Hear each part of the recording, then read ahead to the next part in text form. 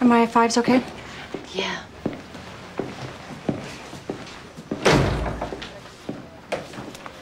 It's hard, huh? Yeah. I mean, I'm no authority for successful relationships on the job. As anybody. You and me work another shift together, people will say we're an item. Yeah. I got no time for what people say. Mm. You know, um, I had Greg tell James I was gay. Yeah, yeah, I heard something about that. You know, I'll tell you the truth. I thought I said it so he'd stop asking me out. And now I started wondering. I've never been successful in a relationship.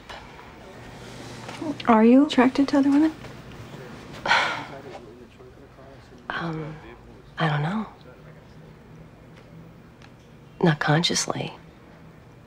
Don't come from that kind of background. People talk about that kind of stuff. In my background, we don't talk about anything. Yeah. Upstairs, John says maybe I should go to one of those gay officer meetings. How do you feel about that?